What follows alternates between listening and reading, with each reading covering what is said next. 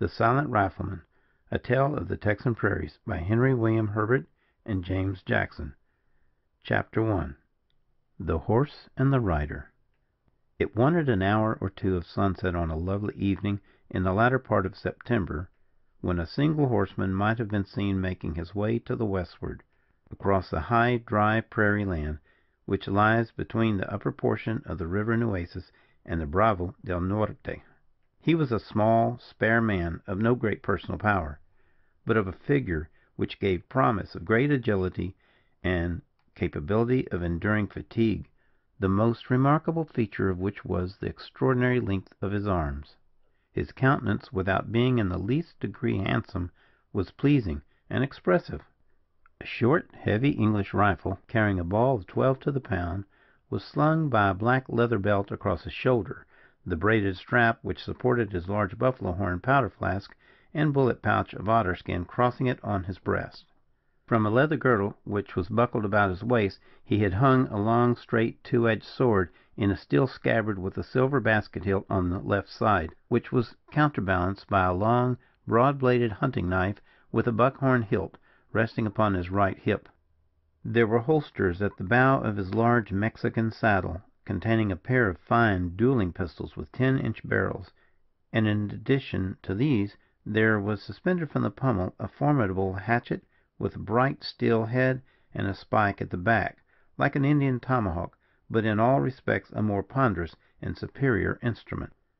On the croup of his horse, and attached to the cantle of the saddle, he carried a small valise of untanned leather, with a superb Mexican blanket of blue and scarlet strapped upon it and a large leathern bottle, with a horn drinking cup swinging from it on one side, while to the other was fastened a portion of the loin of a fat buck, which had fallen in the course of the morning by the rifle of the traveler.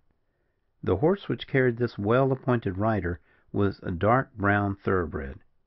At length, when the sun was no longer above three times the width of his own disc from the level line of the lowest plain, he set his spurs to his horse and put him from the high, slashing trot which he had hitherto maintained, into a long, slinging gallop, which carried him over the ground at the rate of some sixteen miles the hour. After he had ridden at this rate for thirty or forty minutes, he reached the brow of one of the low rolling waves of earth which constitute the surface of the prairie, and thence saw the land falling away in a long, gentle slope for some six miles toward the west, at which distance it was bounded by a long continuous line of hills whose range seemed interminable. At the base of this range appeared a dense line, looking sombre enough at that distance, but which the experienced eye of the horseman well knew indicated a heavy growth of timber, perhaps a deep forest, and within its shadowy depths a wide and never failing stream. A short half hour brought them to the forest just as the sun was setting. Through this wild paradise the mighty river rolled its pellucid waves, rapid and deep and strong, and as transparent as the purest crystal. Galloping his horse joyfully over the rich green turf, the traveler soon reached the river, at a spot where it was bordered by a little beach, or margin of pure white sand, as firm and almost as hard as marble, and springing into the cool, clear water till it laved the heaving flanks of his charger, he suffered it to drink long and deep of the pure beverage, which had not touched its thirsty lips since the early morning. This duty done, he returned to the shore, and selecting an oak tree about two feet in girth, around which the grass grew unusually tall and luxuriant, tied his companion to its stem by the lasso, or cord of plaited hide which was coiled at his saddle bow. Then, after polishing his accoutrements, as if for parade, he hung his rifle and his broadsword from the fork of a stunted oak tree, collecting some dry leaves and branches, and striking a light from the ready flint and steel, soon had a clear, bright fire glancing and flashing in a sheltered nook, surrounded on all sides but one, that where his horse was tethered, by a dense and impenetrable thicket of bays, prickly pear, and holly. Within a few minutes, half a dozen twigs, fixed on the ground about the blazing fire, supported as many steaks of fat venison each with a biscuit under it imbibing the delicious gravy, and a second with salt and pepper, all of which unusual dainties were supplied from the small valise of the provident and epicurean frontiersman. While his supper was cooking thus, and sending forth rich and unwonted odors through the forest, our traveller had prepared his simple couch, spreading his handsome poncho on the deep herbage, with his saddle arranged for his pillow. If, however, he had hoped to enjoy his coming meal and his night's repose without interruption, he had reckoned without his host; for at the same instant in which his charger ceased from feeding, snuffed the air eagerly, and uttered a low whinny, the traveller started to his feet and listened anxiously for a moment, although there were no sounds which could have been distinguished by any human ear unsharpened by the necessities and habits of a woodman's life. Satisfied, apparently, that something was at hand which might mean mischief, he quietly took up his pistols and thrust them into his girdle, reached down his rifle from the branch on which it hung, loosened his wood knife in its scabbard, and passed the handle of the hatchet through a loop in his sword belt, so that the head rested in a sort of fold or pocket in the leather, evidently prepared for its reception and the haft lay close on his left thigh. These preparations made silently, promptly, yet deliberately, he stooped and laid his ear to the ground, nor did he raise himself to his full height for several minutes. Two, four, six, eight, he muttered to himself at intervals. Yes, there are eight of them. Again he laid his ear to the ground and listened. Yes, there are eight of them, sure enough he again muttered, and then, after a pause, he added, "But two of them are mules, I think, and they are coming right down hitherward." Then he looked to his rifle lock and cocked his piece. "Unless they turn aside when they reach the timber, they will be on me in five minutes, and if they know the forest they will not turn, that's certain, for here's the only place where you can find hard bottom to ride in and out of the old Bravo, for ten miles up and down." He paused from his soliloquy, listened again, and then a smile crept across his intelligent face. "Bah!" he said, "I have been disquieting myself for nothing. They are dragoon horses. I can tell their managed pace, though what the devil brings dragoons hither, the devil himself best knows." Then he hung up his arms as before, again removed saddle and bridle from his horse, threw down his pistols and his hatchet on the grass, and instead of concealing himself in ambush, unarmed except his wood knife, stepped quiet at his ease forth from the cover of his thicket, and strode boldly forward to meet the newcomers. He had not advanced above a hundred yards from the spot where his horse was tethered and his fire burning before he discovered the little band of travellers just entering the belt of timber, at not above a hundred yards' distance from the point where he himself had ridden into it from the open prairie. That, however, which instantly caught the eye of the rover was the form of a female, and a female evidently of the superior classes, forming one of the party, which, beside herself, consisted, as he saw at half a glance, of an officer and four privates of dragoons or mounted riflemen. "Precious lads these," he muttered through his teeth, "to be traveling the prairies and not see my trail at a short hundred yards. By Jove! I believe they will cross it without notice.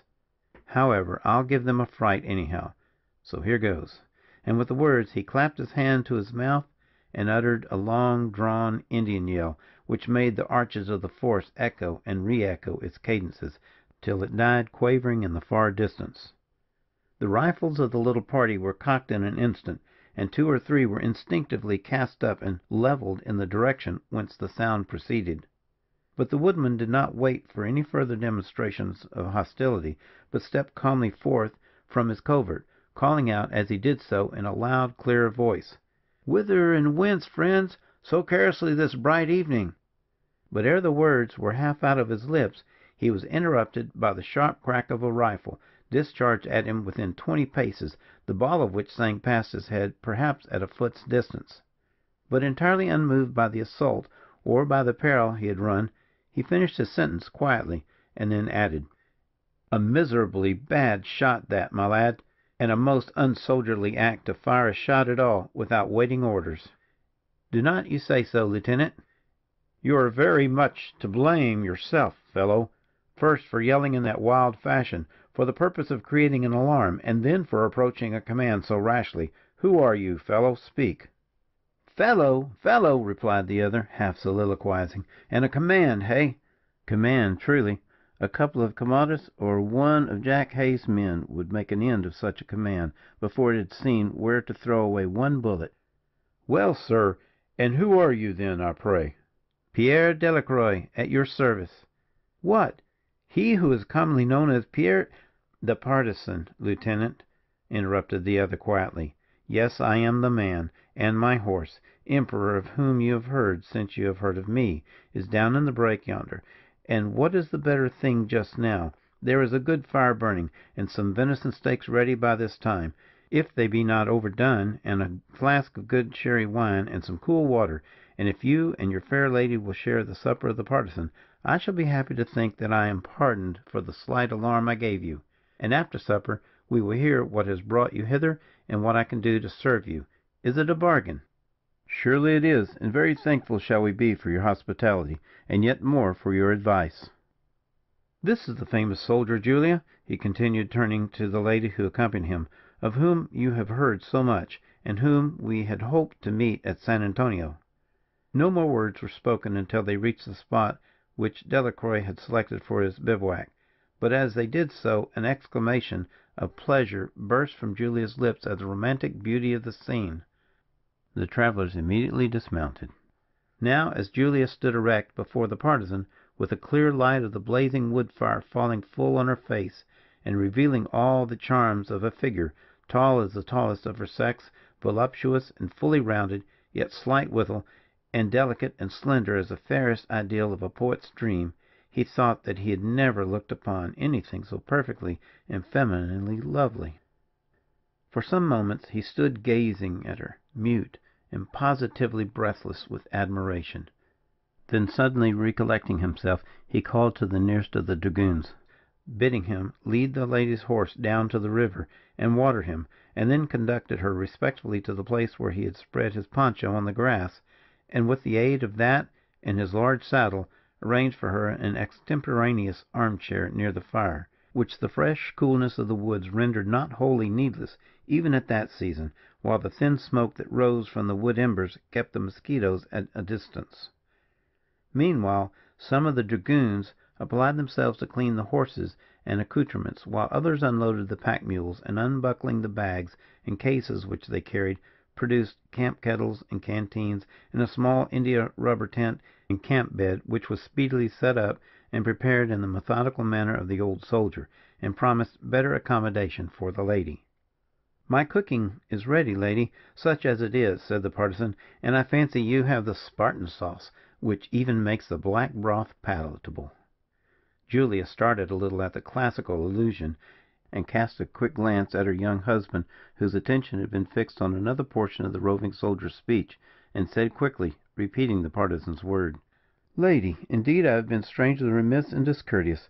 Major Delacroix, in the first hurry of our introduction I forgot to name ourselves to you. Though Yankee like, yet I assure you I am not a Yankee. I by no means forgot to extort from you all that I wish to know. I should have imagined, Jewel, that you would have found tongue enough by this time to make yourself known to Major Delacroix; but since it seems you have not done so, better late than never.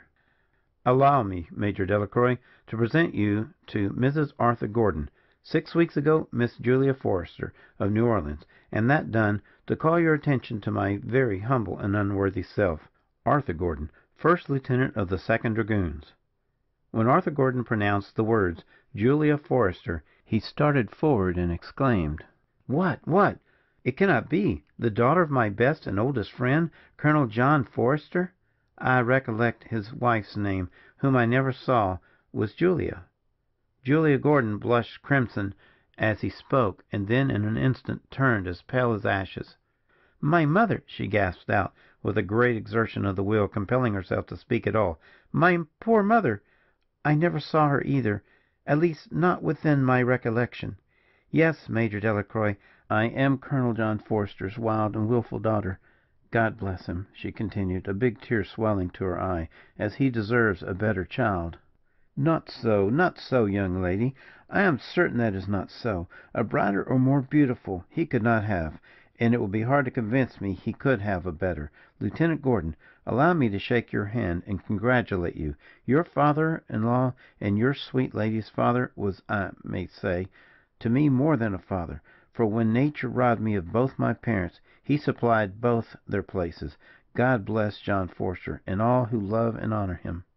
So thoroughly was the Partisan engrossed by his own warm and generous feelings, that he did not perceive at all what would at any other time have been sufficiently apparent to a man of his keen and intuitive sagacity, that there was something of evident discomposure in the manner of the young officer as he spoke to him of his father in law. The green carpet of the meadow was spread with their simple fare, and the Partisan did the honors of his camp with a singular blending of the frontiersman's bluntness and the easy manners of the gentleman and soldier. There was, however, an inexplicable gloom hanging over the little party, and scarcely was the frugal meal ended before, on the pretext of weariness, the lady retired to her tent, and the husband went away for a few minutes, as he said, to inspect his sentries, while Pierre Delacroix filled his Indian pipe with kinnikinnick, and stretching himself at full length on his blanket in the warmth of the fire, rested his head on his elbow, and mused more deeply than he had done for many a year, rolling out all the time great volumes of the odoriferous smoke of that Indian mixture which he had learned to prefer to Havana. Chapter II. The Lieutenant's Story. The Partisan had not sat long alone ere the young officer returned and joined him. Yet, in that brief space, almost all the actions and adventures of a not uneventful life had passed through his mind, so strongly had his imagination been excited by the occurrences of the evening. "Come, Mr. Gordon," said the Partisan, "I fancy that by this time you have got your men settled for the night. Had you not better take your pipe, and sit down with me, that we may talk matters over? By something you let fall a while ago, it seems that you have been expecting to meet me at San Antonio, although I knew it not, nor have been there these two months. Now you must have had some end in seeking me, and until I know what end that is, I am at a loss to see how I can aid you." "To make you understand that, Major Delacroix " "Pardon me, sir," replied the Partisan, hastily. "I have no great respect for titles of any kind, least of all for military titles when not backed by military rank and command. So, if you please, you will call me Pierre, or Delacroix, or Partisan." "Very well," replied Gordon. "It is on you that we have counted all along for taking us safely to our journey's end." "Well, we have gained something, at least. Now, where may that very definite place which you call your journey's end be? And as the next question, what made you count upon me?" "Our journey's end, Taylor's Camp, of course. Where else should it be?" "Anywhere else, I should think, considering the means you have of getting thither, and the company you have with you. You do not really mean to say that you contemplate carrying that beautiful and delicate young woman with you to headquarters? The thing is utter madness." "And yet my destination is headquarters, and she has no home, save my tent." "Julie Forester, John Forester's daughter, no home!" cried the Partisan, in far louder tones than he was wont to use, and starting to his feet, half indignant and half astonished. Did I understand you aright, young sir? Did you say Julie Forester has no home save in the tent of a second lieutenant of dragoons?" "I did say precisely that, Pierre Delacroix," answered the soldier, nettled a little by the manner of the questioner, and shaking off his momentary embarrassment the instant he was put upon his mettle.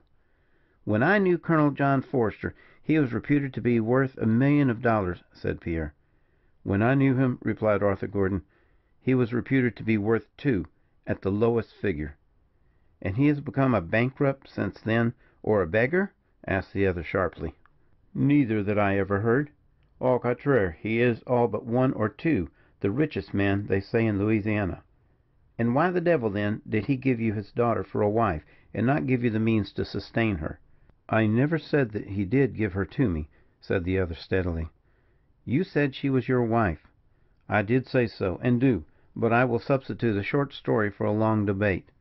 "Pray let us do so. It is six years since I first visited New Orleans, and being the bearer of letters to Colonel Forester, was received hospitably, and entertained in his house, where he then lived nominally alone, with the exception of his only daughter, Julia, at the time a beautiful girl of fourteen. Being very young myself, we were thrown much together. A sort of childish affection, half liking and half love, grew up between us; not altogether childish either for it constantly increased during the three years which I spent in the city, until it became a powerful passion. When I entered the army, on the first raising of the second dragoon regiment, and before leaving the city for the northwest, I had an explanation with the colonel, and it was understood and agreed that at some future period, which was left undecided, Julia should be my wife. We were permitted to correspond, and I mounted my horse and rode away with my regiment, as light hearted and as happy a soldier as ever set jack boot in steel stirrup. I received letters from my betrothed, of which I shall only say that they were all that the most sanguine lover could desire. After a while, however, a difference in their home became apparent, not indeed in the manifestation of affection, but of hope. At length her letters ceased altogether, and I was months without receiving any tidings from her. When the present war broke out, I was eastward to recruit, and had no opportunity of visiting New Orleans, although my brain and my heart were both on fire to do so. Three months since I received the first time, for nearly a year, a short, hurried, agonizing note from Julia, entreating me to come near her without an instant's delay, as her mistress was too great to be endured, and one way or other she must release herself from it. For once, fortune favored me, for the same post which brought her letter brought orders to the captain of my company to send me forward instantly with the men we had raised to the very city in which I most desired to be.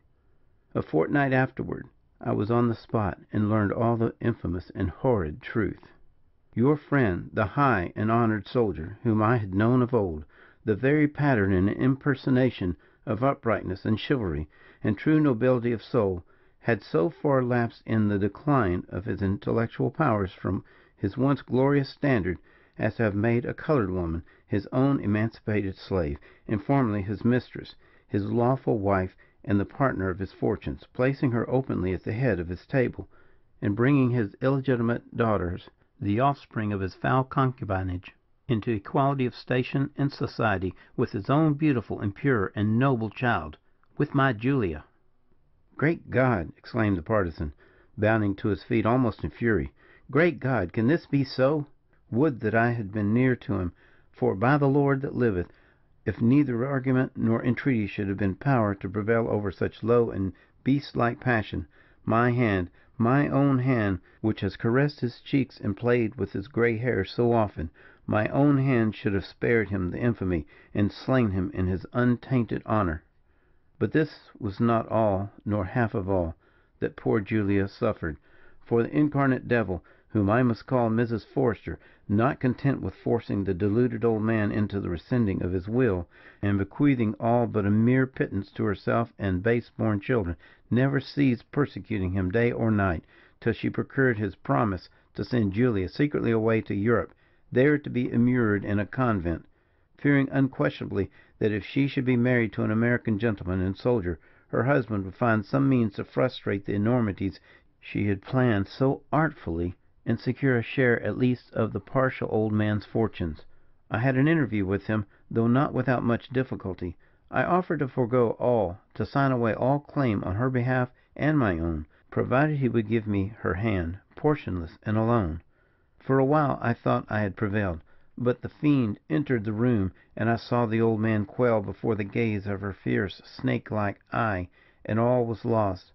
Then I, too, lost my temper, and I swore by the God who made me, and by the hell to which that woman's deeds were leading her, that her plans should be frustrated, and that Julia should be my wife in spite of man or devil. I got brief leave of absence on the promise to join at headquarters before the last day of the present month embarked my recruits with my second lieutenant, and on the third day after, Forster's garden wall was scaled, his daughter's window broken, and before the day dawned she was my bride. Still, flight was needful, and we fled, for by his wrath and the unscrupulous wickedness of her who prompted him, we might still have been separated for a while, if not forever. We fled, I say, to Natchez, and then to Natchitoches where by good fortune I found the little squad of dragoons who escort me, making their way down the river to join my party, which they had been detailed to enter as a veteran nucleus. With them, and this letter to yourself from an old friend of mine, who has, I believe, lived with you, Frank Arrowsmith of ours, I have made my way thus far safely. He gave me a letter to you, commending us to your care. He told me that if you would undertake it, you could guide us in safety into Taylor's camp through all the guerrillas in Mexico. He did me too little and too much justice, too little in supposing that there was any if about it. The idea, Pierre Delacroix refusing to guide or assist a lady in the midst of danger, As to my being able to carry you safely into Taylor's camp, that's quite another thing." "Is there so much danger?" "The country is alive with horse. Every village is in arms. Every rancho has turned out its riders, and keen riders they are, I assure you. Why, between us and the fences, and all the way towards Encinos, there are not less than a thousand men scattered about in little bands from six to fifty and upward. And now you go and bid your men to put no more wood on the fires, and lie down one and all, and get all the sleep they can. They will need it before we reach Monterey." "What, will you have no sentinel?" "I would rather have my brown horse, Emperor, for a sentinel, than all the dragoons in the United States, or out of it. Do what I bid you, and then get to your bed yourself. I will wake you before the morning star is up to morrow." Gordon arose, well satisfied that the Partisan knew his business far better than he, and went away to do his bidding, much to the delight of the unfortunate dragoon, who was pacing up and down with his carbine in the hollow of his arm, envying his more lucky comrades their sound and healthy slumbers. This duty done, the young officer hurried back to his tent and his fair bride, and in doing so passed close to the bivouac of the Partisan. He had wrapped himself close in the handsome blanket, with his knife drawn in one hand, and his pistol in the other, ready for instant defence on the least alarm, and with his head resting in the hollow of his large Spanish saddle, was already buried in deep and dreamless sleep. In ten minutes more there was not an eyelid open, of man or animal in the encampment, and the broad, lustrous northern moon, sailing in a flood of silver glory through the azure firmament, alone watched over them, like the unsleeping eye of an all seeing Providence. Chapter 3 The Passage of the Bravo The stars were beginning to grow pale in the heavens, and a faint grayish tint was creeping gradually upward from the eastern horizon, and usurping the dark azure of the cloudless sky, when the light sleep of the Partisan was interrupted by the long, tremulous, low whining of his favourite horse. He started to his feet in an instant, and listening eagerly, and again laying his ear to the ground, as on the previous evening, speedily became aware that a large body of horse was passing along the hard prairie, not far from the skirts of the timber. Instantly awakening the young lieutenant and his dragoons, he bade them strike tent, load the mules, and saddle the chargers with a possible speed and silence, keeping their arms ready, for the danger was at hand. This done, he took up his trusty rifle and stole away with a noiseless step to reconnoitre the party, which had now come so near that the clank of the steel scabbards against the stirrup irons was distinctly audible above the hollow sound of the horses' tramps. The noise, however, gradually died away, the troopers having evidently ridden down the outer edge of the forest to the southward, without noticing the track left by the horses of our company. Within minutes, Pierre returned with a very serious countenance. "There are above five hundred of them," he said, "regular lancers of Carrera's band. They have gone southward for the present, but we may expect them back within an hour for they are evidently on the lookout for our trail, which they must have followed from the last bottom, and lost at night on the dry prairie. Had the morning been one hour advanced, they must have seen it, and we should have been all killed before this time, for they make no prisoners." "There is no time to lose, then," said Gordon, hastily looking with an anxious eye to the face of his wife, who was already equipped and ready to mount. "Let us get to horse at once, and put the river between them and us." "That is soon done, so far as we men are concerned," replied the Partisan. "But how do you get her across rivers such as this?" "We have an India rubber pontoon here," he answered, pointing to a sort of oval bag of that material, depending from two air cylinders of the same stuff, which, when inflated and distended by two or three short staves, form a rude boat.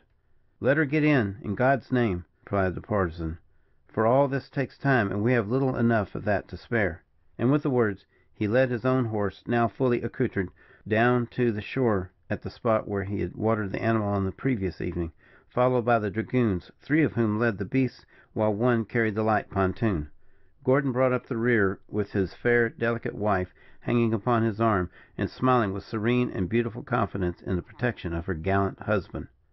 Arrived on the bank, all the dragoons mounted and entered the broad and rapid river, which could not at this spot have been less than five hundred yards in width, three of them leading the pack mules and the lady's jennet, and the fourth carrying in his hand the reel on which was wound the tough cord a twisted hide, by which the frail bark was to be drawn across the whirling current.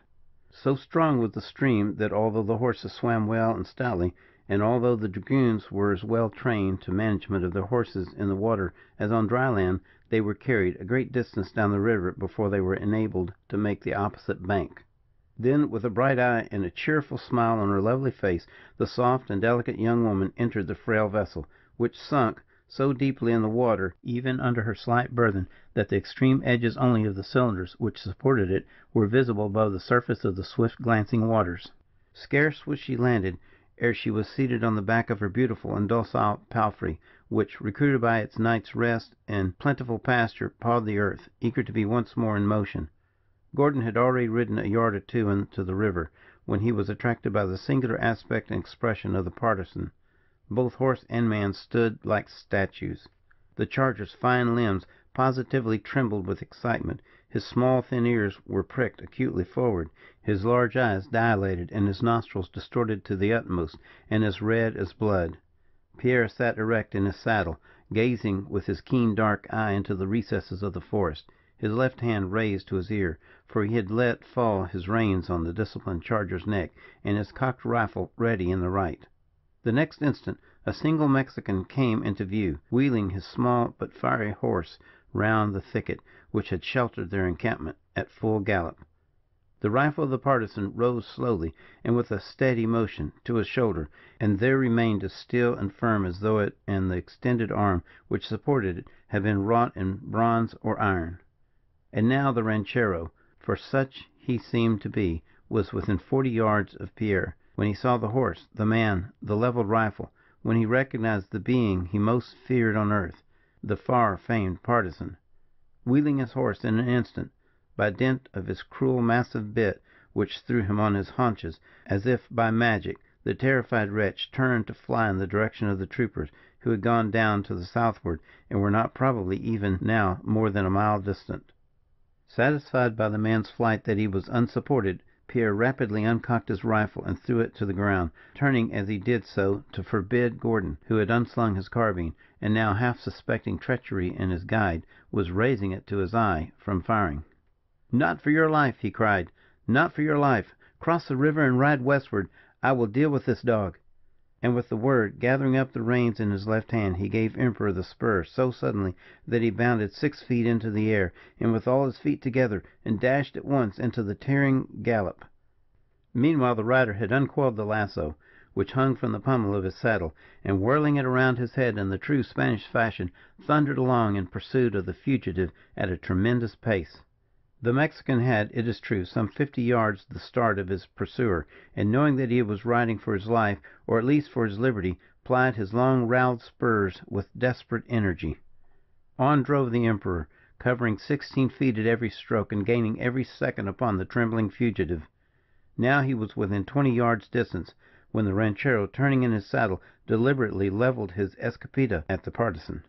In another moment his carbine would have been discharged, and the alarm communicated to the other troopers.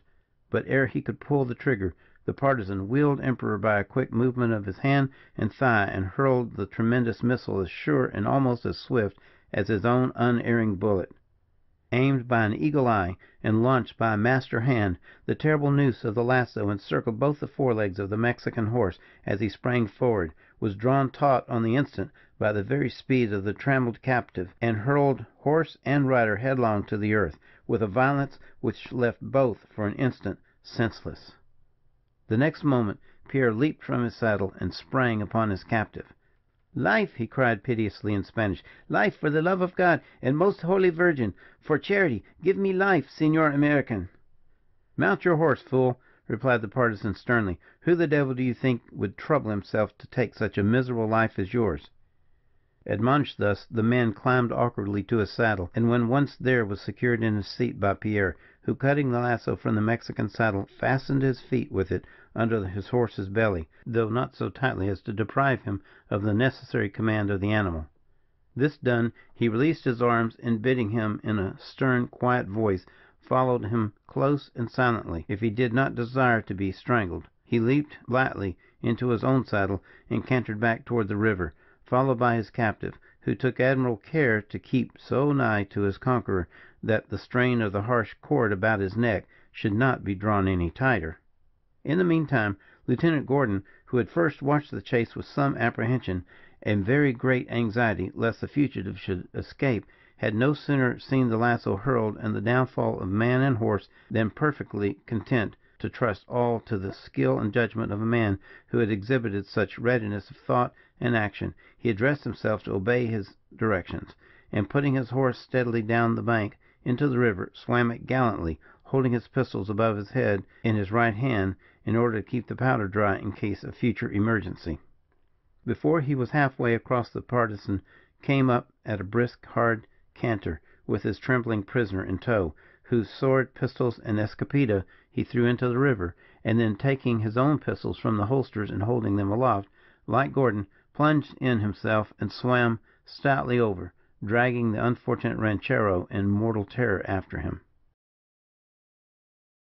Chapter 4 The Double Traitor There was no need of discussion or debate, so evidently correct was the plan of the Partisan, nor had his views been much more questionable than they were, is it at all probable that any opposition would have been made, so completely had he gained the confidence of the whole party by his promptitude, his gallantry, and his extraordinary coolness in danger. The heads of all the horses, therefore, were turned westward, and away they rode at as rapid a rate as the nature of the ground permitted. In the present order of the march, the most danger being anticipated from the rear, the oldest and most intelligent of the dragoons was detached to a hundred yards in front, followed by the three others, two leading the pack mules, and the third having charge of the prisoner, about whose neck one end of the lasso was still secured, while the other was made fast to the pommel of the soldier's saddle. After these, Gordon and his fair bride rode together, conversing at times in a low voice, but yet oftener keeping silence. In the rear of all rode the Partisan, alone, at nearly a hundred yards' distance from the little group which preceded him. As they galloped onward, however, through the belt of timber which bordered the western as well as the eastern marge of the Bravo del Norte, time slipped away, and brought no sounds of pursuit from the rear. Just as they were approaching so nearly to the margin of the open ground that the dragoon, who acted as vidette, was looking round for orders, Pierre uttered a shrill, long drawn whistle, which was the preconcerted signal for a halt, and after the rest of the party had pulled up their horses, galloped forward himself till he reached the extreme verge of the covert, where, without speaking a single word, he dismounted, fastening his charger to a tree, and advanced stealthily into the open prairie. After being absent about twenty minutes, during which the remainder of his party had lost sight of him altogether, he returned with a thoughtful expression on his strongly marked features, and walked through the little group of dragoons and pack mules until he reached Gordon and his fair bride, who sat on their panting horses, eagerly awaiting his approach. "Have you heard anything?" he asked quietly, "from the forest in our rear?" "Not a sound," replied the young officer. There are three smokes, one hereaway, some six miles to the southward. Now there are three plans of which we must choose one, and then act on it for life or death. We must work twenty miles due north, up this forest land, and so get above their posts, which were the safest plan of all, if it would not carry us so far out of our route, and bring us far too soon into the settled country, quite out of the line of our communications or we must strike due southward for that extinguished fire, and so strive to make our way down to our posts at Mier in Camargo, which would do well enough did not the whole of that country swarm with guerilleros. Or, again, we must drive right onward, and take the chance of falling on the party at the little fire unawares, and finding them as few that we can master them. If we succeed in doing so, we have the best chance of reaching Monterey in safety, for once through these frontier parties, we shall, it is likely, find the country clear until we reach our outposts." "The risk of the three, then, is nearly equal," said Gordon, musing deeply. "The immediate risk of the last is greatest, the ultimate risk the least; but in truth it is chance anyhow." Gordon desired him to help the lady to mount, replaced his slender baggage on the back of the good horse Emperor, and then, without setting a foot in the stirrup, laid his hand lightly on the pommel, and vaulted into the saddle. After this, miles and miles vanished beneath the feet of their horses, as they pressed onward steadily and swiftly. Pierre once again in the van, leading them on, rifle unslung and ready, at Emperor's fast slashing trot. Now they were within a mile or less of the Digi brow, steeper and more abrupt than any which they had yet passed, from the other side of which the smoke rose in grey volumes, having been fed with recent fuel. Here, then, Pierre halted, and caused the pack mules to be securely tethered to stakes driven into the moist earth of the prairie bottom, together with the horse of the Mexican. The prisoner, after being once more interrogated, and persisting in his tale that there were but six men, that there was a large stream at the base of the descent, and that the fire was on this side of the stream, was dismounted, gagged, bound hand and foot, and laid on his back upon the grass. This done, Gordon arranged his handful of men, himself leading on the right, while Pierre rode forward some six horse lengths in advance, and Julia, who had refused positively to remain behind the pack mules, followed a length or two behind. Now they were within twenty paces of the extreme brow of the ridge, which alone separated them from their enemy. Three paces more would have brought their heads into relief against the sky above the summit of the hill, and discovered them to the sentinel, if there were one, on duty. At this moment Pierre pulled his horse short up, dismounted silently, and with a gesture to the well trained and gallant animal, which it was evident he understood, for he stood stock still on the instant with ears erect expanded nostrils, straining eye, quivering in every limb with fiery eagerness, cast himself down, rifle in hand, among the shorter herbage which clothed the steep ascent. There were, as the prisoner had stated, six men only, two of whom were awake, the one a sentinel stalking to and fro with the escopeta in his hand, the other a non commissioned officer who sat smoking his cigarillo by the fire over which a camp kettle filled with some savory mess was simmering. The death shot, which sped its bullet crashing through the brain of the hapless sentinel, aroused them all, and brought them to their feet, amazed and terrified, and unprepared for action. Meantime the dragoons crossed the bridge and poured down all abreast, receiving as they came a straggling volley from the escopetas of the lancers, who, seeing that flight was hopeless, stood to their arms like men, and making a desperate defence. Then came a desperate race for life or death across the firm dry prairie which echoed under the thundering horse tramps, firm, solid, and elastic. The Mexican had perhaps gained a start of some fifty yards before his foe was across the brook, and his small but high bred horse, being the fresher of the two, held his own for a little way, and even widened the gap at first between himself and his pursuer.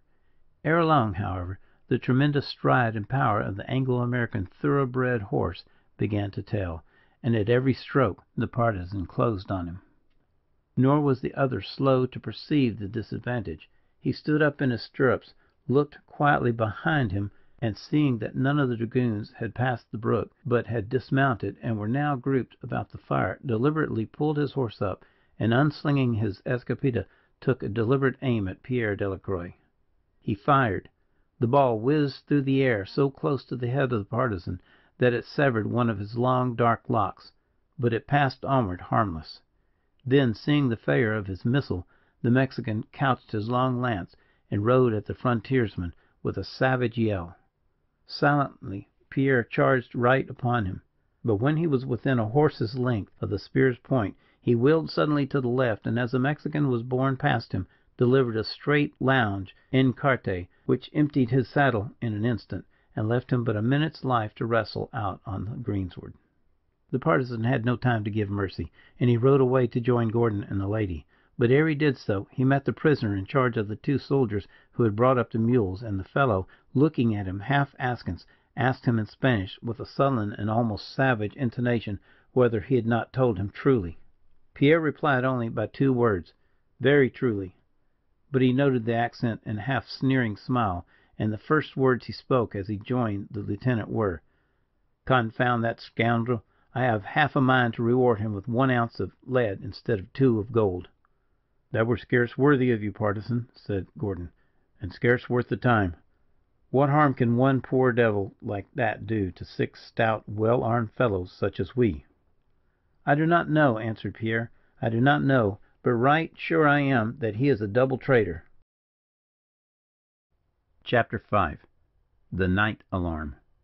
All day they rode across the open plains, presenting still the same invariable aspect of rich prairie land, for the most part nearly level, but now very rich and fertile, and becoming more and more so with every mile our party traversed. At noon they halted for three hours under the shelter of a clump of magnificent oaks, over canopying a little pool, the well head of as clear a streamlet as ever was the haunt of a Grecian wood nymph. The Sylvan meal was spread with all the simple luxury of a frontiersman's fare. After the meal was over, the Partisan said: "Now try to sleep for an hour or so, while I go and take a round on the prairie. I see a flock of buzzards yonder, whose motives I don't exactly understand, and I would have a nearer look at them." And with the word he took up his rifle, tried it with a ramrod to see that the ball had not fallen out, from the speed at which he had ridden, as the gun hung muzzle downward at his back, renewed the copper caps, loosened his wood knife in its sheath, and walked off unaccompanied toward the spot in the plain above which a flight of the black vultures, commonly known as turkey buzzards, were hovering and swooping, at a distance so great that they looked no larger than flies, and that no ordinary eye could have distinguished what they were. As he moved away slowly, Julia's eyes followed his departing figure, and her face wore a very thoughtful expression as she turned round to her husband. "There goes an extraordinary man," she said, with an expression of deep feeling; "a very singular and very noble character. I never have seen and very seldom read of anything like him." "By Heaven, I believe he is in love with you, Julia," replied Frank Gordon, half laughing, half in earnest. "I have thought so all the morning." "Silly, silly Frank," she answered, slapping his hand playfully. "Do you know that they say jealous husbands make false wives? and that you should not imagine that I could like any man but you." After about an hour elapsed before the Partisan returned, bearing on his shoulders the saddle of a fat buck which he had shot during his reconnaissance, wrapped in his own hide, and in his right hand, together with his rifle, a long Comanche arrow reddened with dry gore. He found the whole party sleeping so soundly that he walked into the very midst of them without disturbing one of the number. For many hours not a sound was heard in the neighborhood of the little encampment. The moon rose and soared above it in her silver beauty, and bathed everything for miles and miles around in soft lustre. The stars rose and set, and the first gray ray of morning was just beginning to pale the eastern horizon, when a deep, continuous, hollow sound, like the roar of the distant surf, aroused every one in an instant. "Indians! it is Indians!" exclaimed Gordon. "Stand to the horses, lads.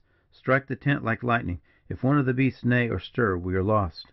Three of the dragoons, who had risen to their feet on the first alarm, obeyed his orders in an instant, as regarded the horses. Gordon himself struck the tent, and in deep silence, speechless and almost breathless, they awaited the result. Nearer and nearer drew the din. Gordon was right. It was the fast falling tramp of unshodden horse hoofs. Five minutes or less after the first alarm, the mounted horde swept by the mouth of the gorge, so near that the travellers could see their shaven and plumed scalps, their easy martial seats on their wild horses, and their long lances in relief against the sky. But the darkness which brooded over the little basin protected them, and almost as soon as it was there the danger had passed over. But as it ended, and the men had time to look around them, it was perceived at once that one of their number, Pierre the Partisan, was missing, and that the sergeant, although that din might have aroused the dead, still lay asleep on the greensward. Asleep, indeed, in that sleep which knows no waking three deep knife wounds in his bosom, his throat cut from ear to ear, the cords severed which had bound him to the prisoner. These sufficed to tell the tale. But the Mexican and the sergeant's charger had vanished, and the Partisan and Brown Emperor were absent. Horror, and a sense near akin to despair, fell on the party thus abandoned. For a little while they gazed in each other's faces, mute and white with surprise, if not with terror. Gordon was the first to recover from his consternation, and he spoke cheeringly. "The prisoner has escaped, and the Partisan has gone in pursuit of him, that is clear," he said. "We have nothing to do but wait here until he returns. We have food in abundance, and water and forage for the horses, and we can keep this pass against all the Indians in the universe, so long as our ammunition lasts; and we can fire five hundred rounds, if the Comanches find us out, which I think they will not. Keep good heart, therefore, men, and trust me. Pierre Delacroix will be back here before sunset."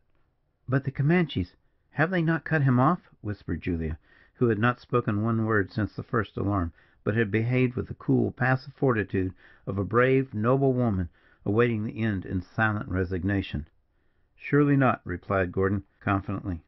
"Had they fallen in with him, his brave horse would surely have outstripped them, and in his flight he would surely have led them in a contrary direction from this, our stronghold." "Sure he would. You are right, you are right," said the quick witted girl. "God's name be praised, you are right, Frank. He is safe." CHAPTER VI. The Beleaguered Camp. "Now we'll post a sentinel on yon hillock, and then we will pass the day as easily as we can. I and my fellows will lay poor Sergeant Davis in the earth, which, if it be not consecrated, will at least shield him from the ravening wolf and the loathsome vulture." The sabres of his dragoons, and an axe or two which had been brought with them as part of the camp equipments, sufficed to scoop out a little hollow in the rich soil of the moist basin, hard by the streamlet's bed, and in it wrapped in his watch cloak, with his plumed shako on his head, and his good sword on his thigh, all that was earthly in the gallant veteran was laid to take its long sleep. Gordon secured his telescope, and mounting a steep hill, surveyed the country, expecting to see the Partisan. All at once he exclaimed in a full, manly, and clear tone: "Julia! huzza! huzza! He is here! Come forth and greet him. The Partisan is already here." And just as a highly bred brown horse bore him up the low bank from the rivulet's bed, she came out quickly from the little tent, with a warm flush on her soft cheeks, and a bright light in her clear blue eyes, and a fleet step, and an outstretched hand which showed that the joy which she manifested at his coming was from the heart, sincere and earnest. "Oh!" she cried, "Major Delacroix!" And her sweet low voice faltered as she spoke, as if she were on the point of bursting into tears. "How glad, how very glad I am to see you!" "Too glad, I am afraid, dear lady," answered the gallant soldier, bowing almost to the saddle bow. "Too glad, I am afraid, for your pleasure almost looks as if you thought I had deserted you." "Oh, no, indeed, indeed," she answered, clapping her hands together in the intensity of her earnestness. "I knew that you would die a thousand deaths before you would desert me before you would desert I mean," she added, with some slight embarrassment, "any woman in distress or danger." "You need not have modified your first expression, lady," replied the Partisan, quietly. "As for dying a thousand deaths, I cannot say for that; but certainly, so far as risking the one life I do possess, I would do that for you, willingly." Julia Gordon was a high minded, artless, innocent woman, if ever such an one breathed the breath of life; but still she was a woman. She perceived at once that she had struck and fascinated the wild Partisan at first sight and though she would not for the universe have intentionally caused him a single pang, she did unconsciously encourage him, and lead him on to wilder and more wandering fancies than he had ever entertained before. "You flatter me, fair lady," he replied with a smile, as he dismounted from his good horse; "and flattery from such lips as yours were perilous, indeed, to a younger man than I, and to one alienated from the hopes, the wishes, the delights of civilized society. But let us go into your tent," he continued and you shall bestow upon me your hospitality to day, in requital of the poor meal I set before you on the other side of the Bravo." When the repast was ended, and coffee set before them, he produced his pipe, and filling it with his favourite mixture of tobacco, applied himself for a few minutes to smoking silently. Gordon followed his example, and Julia awaiting patiently the relation, which, with the true woman's instinct, she foresaw to be close at hand. "Now then, lieutenant, since we are about to start, it were perhaps as well that we should determine whither." "Whither?" exclaimed Gordon, starting, and looking very anxiously in the old soldier's face. "I thought that had been determined long ago. I thought we were in full route for Taylor's camp, before Monterey." "It is impossible," replied the Partisan. "I did hope at first to effect it, but the hope was delusive. The thing is a sheer impossibility. We are in the midst of outlying parties of regulars, and what is worse yet, of guerrillas, and, worst of all, of these accursed Comanches." "And to return?" asked Gordon. "Is equally impossible." "What then? For the love of Heaven, speak!" cried the young husband, actually trembling with the violence of his anxiety and apprehension. "It is impossible for a party, at once too strong to avoid discovery, and too weak to resist an enemy, to push on to Monterey, even if we had not a lady with us. I could, myself, run the gauntlet thither, and arrive in safety, though even that is doubtful. You, or she, at least, must remain in concealment until I can bring you such succour as will suffice to her safety." "Remain in concealment here?" "Not here, exactly, nor yet very far distant." "Can it be done?" "I think it can, with safety, else had not named it." "And whence will you seek succour?" "When God and the fortunes of war shall send it. Perhaps not higher than the general's camp. Perhaps I may stumble on Jack Hays, or Walker, or McCulloch, or Gillespie's rangers. They are on the scout almost all the time, either in the van or rear of the army, and now I think it likely they will be down here a way, with the intent to open our communication. God send that they may." "God send it so, indeed," replied Arthur Gordon, earnestly. "But what has led you so completely to alter your views and intentions?" "That which I have seen with my own eyes, or heard with my own ears, last night." "And what may that have been?" "Listen. I was awakened last night by the sound of a scuffle and a faint groan.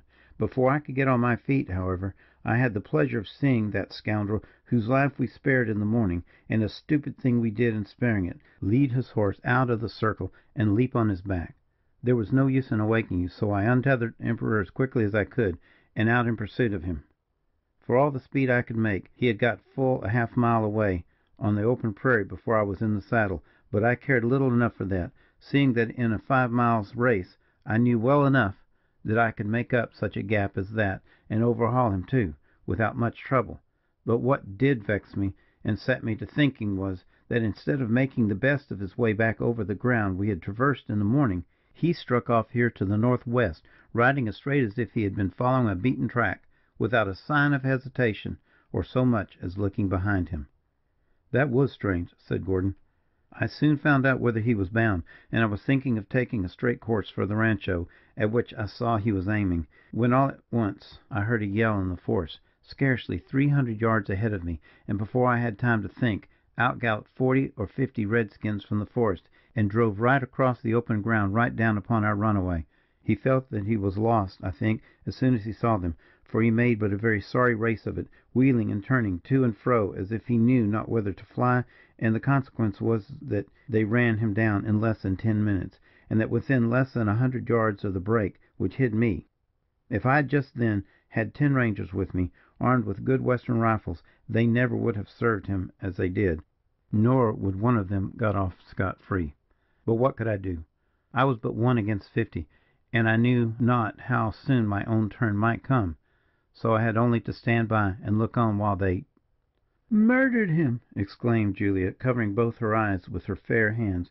"Good God, how terrible!" "Burnt him alive, lady," said the Partisan, coolly. "Burnt him alive!" exclaimed Julia, whose hands had dropped from before her eyes into her lap at the first words of his reply. "Burnt him alive, and before your eyes!" "Before my eyes, lady. Not a prayer, not a shriek, not a groan of the wretched devil escaped my ears, and the smell of his roasting flesh sickened and almost choked me," cried the Partisan. "And why, why did you hold back?" exclaimed Julia, wildly catching him by the arm. "Why did you not rush upon them?" "I could have but died with him." "Then you should have died with him," she cried, scarce knowing what she said. "Not to have done so is not like the man I have heard you called not like the man I took you for." "Hush, Julia, hush!" Cried her husband, springing to his feet. "Be silent, child, if you cannot speak reason." But Delacroix interrupted him, speaking very slowly, and with an inexpressibly mournful intonation of voice. "Let her go," he said. "It was for her sake I did it, and most meet it is that she should pay me for it with ingratitude. Who ever served or loved a woman and met with other guerdon for his services? I was a fool, I am a fool, but I did not expect this at her hands." He hung down his bold head as he spoke, and one or two big tears, the first he had shed for years, rolled down his swarthy cheeks. "And now bid your men strike the tent, and pack just what baggage your lady cannot spare. Pack it on the dragoon horse, whose saddle is left empty by the murderer's deed, who has dearly rued it. The rest with the tent and pontoon must be abandoned, and the mules that bore them must be slain. Let them hide everything in the chaparral. The sun will have set within an hour. Meanwhile I will go forth and see that the coast is clear." "But whither, whither are you about to lead us?" inquired Gordon, anxiously. "If you trust me, you will follow me, lieutenant, whithersoever I lead you. If not, you will not follow me at all for if it be my intent to deceive you, I can do so by words as well as by actions." "Oh, Major Delacroix!" exclaimed Julia, who had recovered from her bewilderment, and was sensible of the error she had committed, "you are offended you are angry with me, and justly. I have been most ungrateful." "Not angry, lady, not offended. A man cannot be angry with such a one as you, do what you will with him. I am disappointed, perhaps hurt, but certainly neither angry nor offended." "You must forgive me," she exclaimed, springing passionately forward, and catching his hand in both her own. "You must you must forgive me. I knew not then I know not even now what it was I said. Will you but forgive me?" "Surely I would, had I anything to forgive, sweet lady," he replied, with a grave, sad smile. "But I have nothing, unless it be," he added, with a low sigh, "my own folly. But a truce to this. We have indeed no time for parleying. Will you trust me, and follow me? As we ride onward I will tell you whither." "To the world's end," answered the beautiful girl, clasping her hands and blushing crimson with the violence of her own emotions. "To the world's end, if you will not forgive me." "Now will you be so kind as to issue your orders to your men, lieutenant, and you, madam, to make your preparations for a ride which may extend through the night until daybreak to morrow?" He spoke so decidedly that there was no excuse for attempting to prolong the conversation, and Gordon left the little tent immediately in order to give his directions, while the Partisan lifted his rifle from the ground where he had deposited it on entering, and turned to follow the young officer without saying another word. But ere he had reached the entrance, Julia, who had been standing with downcast eyes and a strange expression, half sad, half passionate, on her beautiful features, sprang forward to intercept him, and again caught him by the arm. "What have I done?" she cried, passionately. "What have I done that you thus spurn me, thus despise me?" "I, lady," and he gazed at her in blank astonishment, "I despise you?" "Yes, yes, miserable me! and I deserve it all ay, more than all. Oh, God! oh, God! I shall go mad. What shall I do to win your forgiveness?" "I have said, madam," he replied, mastering himself and retaining his self composure with a mighty effort, "that I had nothing to forgive. But now it is my turn to ask," and his voice assumed a deeper tone of feeling, and his whole manner showed an intenser meaning. "Will you spare me? You know what I mean, lady. All women know their power, and, I suppose, all abuse it. But as I have endeavoured to serve you truly, as I intended to do to the end, as I am resolved to die for you, will you spare me, I say? Spare me my self respect by consciousness of right nay, manhood, my repose of soul, my honour. If you will, lady, I forgive, I bless you. If not if not tremble, I say, tremble, not at the thought of my vengeance, but of your own remorse. Think of this, lady, and fare you well. We speak no more alone together no more for ever." And he flung her hand, which he had held tightly clasped in his own while he spoke, away from him contemptuously, half indignantly, turned on his heel, and left her.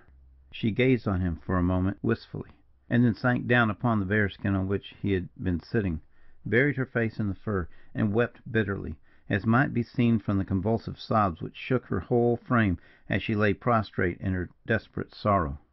Within an hour the Partisan returned to the camp which had been the scene of so much mental suffering and excitement to all the parties who had passed the last weary long hours within its guarded precincts. But when he did return, he had fully mastered his composure, for he now fully understood his own feelings, and perceived the peril of indulging them, and he found all his comrades collected and self possessed, at least in appearance, and prepared to set forth at a moment's notice. The horse of the unhappy sergeant had been equipped, instead of his own demi pique, with the pack saddle of the poor predestined mule, and stood seemingly conscious of his degradation, loaded with such necessary baggage as could in no way be dispensed with. The appearance of the Partisan and the first quick gesture of his hand gave the signal, and all the men vaulted at once into their saddles. "All is safe," he exclaimed, cheerfully. "To horse, to horse, and away!" And with the word he laid his hand on the pummel of the brown charger's demi pique, and, without setting his foot into the stirrup, sprang at one bound to his back. Then, after saying a few words in a low voice to Arthur, who communicated them in turn to one of the dragoons, he bowed to the lady, saying: "And now, if you are ready, we will proceed at once," and rode at an easy gait out of the gorge, followed by all the party. The heart of Julia sank as she gazed around, and she felt that the least addition to the sense of dread and half superstitious awe which now beset her would be too much for her powers of endurance. Yet, while she thought thus, another item was added. It was the sharp and sudden crack of two rifles discharged, almost simultaneously, in the small amphitheatre from which they had just departed. She started in her saddle as if she had received a blow, and would have fallen from her seat, had not her husband thrown his powerful arm around her, and supported her frame on the back of her palfrey. "It is nothing," he whispered. "It is nothing only the poor mules which we were compelled to shoot, as we could not bring them with us, and dared not leave them to follow, and by following betray us." "More blood!" cried Julia, bursting into a paroxysm of tears. "More blood, my God! When will this have an end?" "You should have thought of that, Julia," replied the young soldier, sharply and bitterly, "before you married a soldier. That done, such thoughts are too late." "Alas! alas! they are, indeed, too late." "And do you cry alas for that false girl?" exclaimed Gordon, in so loud a tone that his words reached the ears of the Partisan, who instantly reined back his horse, and laying his hand kindly on the young man's arm, said, in a low voice: "Oh, peace, peace, for shame! Consider what she has borne, what she has yet to bear, and all for you." "I wish I were in my grave," she answered, raising her mild, soft eyes to meet his. "I never shall be happy more till I lie in it." "Nay, nay, speak not thus," returned the veteran, warmly. "Death, at the best, is a dread mystery. In God's good time we must all come to that. To His good wisdom, therefore, let us leave it. And oh, by no levity or petulance of ours, let us call down His anger on our heads. But I assure you, it is no gloomy place, no fearful or dark abiding place that I hope to conduct you, but to a sort of fairy bower, inhabited," he added, assuming a tone of gaiety, which he perhaps scarcely felt, "by what I thought, till I met your blue eyes, Mistress Gordon, the loveliest woman I e'er looked upon." Despite herself, Julia Gordon was interested and amused, and yielding, womanlike, to the immediate impulse, she cried: "What! a fairy bower, and a fair woman, in this howling wilderness?" "Ay, lady, even so; and thereby hangs a tale, which, as you will be thrown, I think, upon her hospitality, and as it may beguile the tediousness of our night march, I will relate to you, if you choose to hear it." "Oh, tell it, by all means, Partisan," cried Gordon, eager to atone for his late petulance, and to divert his wife's apprehension. "I hope it is a love tale." "Cato's a proper person," answered Delacroix, laughing. "You see I quote, lieutenant. But here goes my story. "It was a little better than a year ago," he began, "that I first visited this part of the country, which I know, every pass, glen, and pond, and rivulet of it, as if it were my own garden. All then was violence and fierce, irregular strife, and vengeful, indiscriminate warfare and confusion. I was alone on this good horse which I now ride, and armed as you now see me. At times I would join this or that band of rangers, when on some actual service which promised excitement and the chance of action, I, for the most part, scouted by myself. On this occasion, however, I had a special duty to perform, being charged with dispatches from the general to the chief of the band, which will not name, nor otherwise designate except as being ever the most daring and successful in the onslaught, although too often the most merciless in the moment of victory. Well, it was a lovely summer's evening, as ever shone out of heaven, when I passed through this belt of forest. Not exactly here, or in this direction, for I came in further to the southeastward, and approached the clearing which surrounds the plantation, whither we now are bound, when suddenly, as I rode along, following the track of the horse hoofs, which I could easily distinguish in the mossy greensward, and judging by many certain indications that I could now be far behind them, though I heard nothing to denote their vicinity, when suddenly, I say, I caught the distant sounds of merriment and revelry, the light cadences of the guitar, the merry laugh of girls, the deep rich voices of the male singers in the harmonious Spanish tongue, and all the glee and anxiety of fandango. I felt a momentary sense of pleasure, for I knew that I was in time, which I had feared might not be the case, and that the attack which it was my mission to prevent, or at least to render bloodless, had not as yet taken place. The next instant a sudden doubt, a great fear fell upon me. How could it be that I should be so close to the rancho and the band of which I was in pursuit, yet closer, but unseen, unheard, and unsuspected? I knew that not a moment must be lost; that even now the rangers must be stealing with ready arms upon their victims; that even now the doom of the gay lancers must be sealed, unless my presence should arrest it. I gave my good horse the spur, and throwing the rein upon his neck, galloped at the top of his speed along the intricate and mazy wood track. Never in my life did I spur so hard, and never did a road seem so long, or so devious; nor was this the effect of imagination only, for I have since ascertained, by actual inspection, although the distance, as the bird flies from the spot where I first heard the music to the rancho whence it proceeded, is but a short mile. The road, by which alone you can reach it, measures three at the least, winding it to and fro to avoid pathless brakes and deep barrancas, and is exceedingly deep and miry. The sound of my horse's tramp, splashing through the deep clay, was already heard by the lancers, and heard, alas! by their ambushed foes, when I feared it spurred to accelerated them when suddenly from the wood to my left the shrill blast of the bugle rose piercingly upon the night air, and was answered by a second at a little distance. There was an instant pause, breathless and awful as the lull that precedes the burst of a thunderstorm, and then a long, loud shout burst out on all sides, and the quick running rattle of a hundred rifle shots fired in quick succession.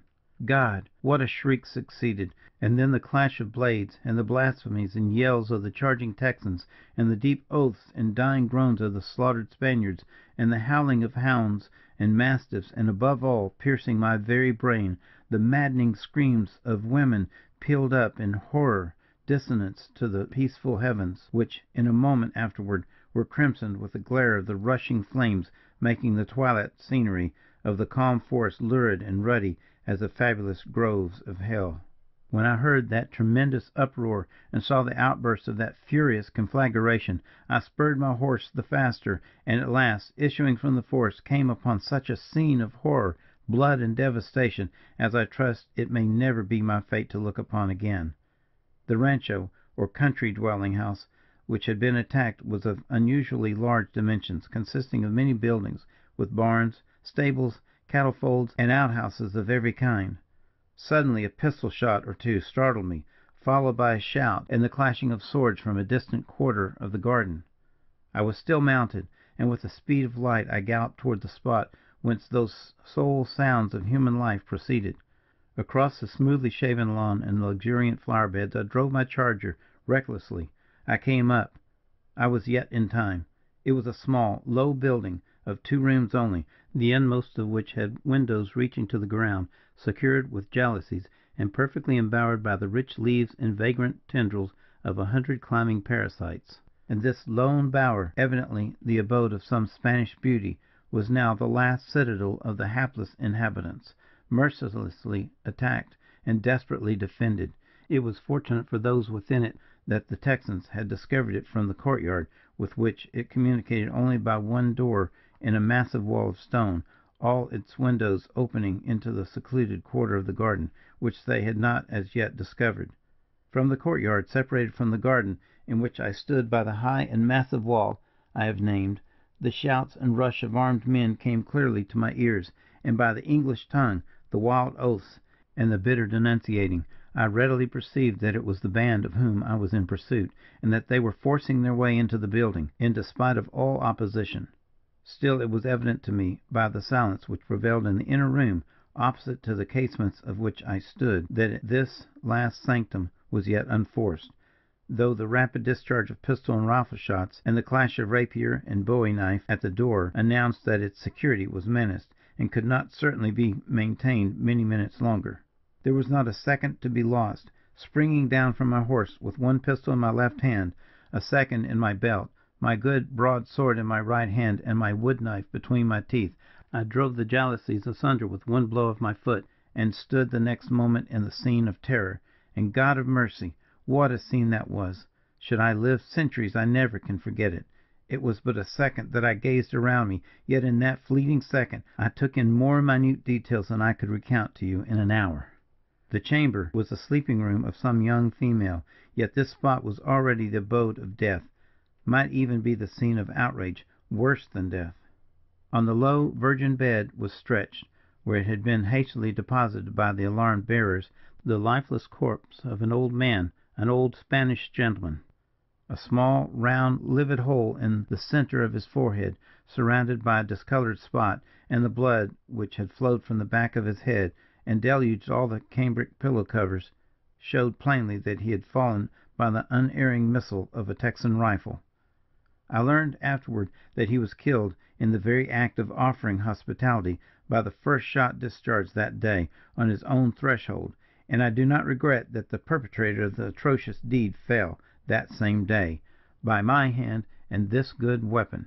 But to proceed. On the floor, close to the window by which I made my entrance, lay stretched an aged woman, the wife apparently of him who slept unconscious, happy that he was unconscious, of the horrors which surrounded him.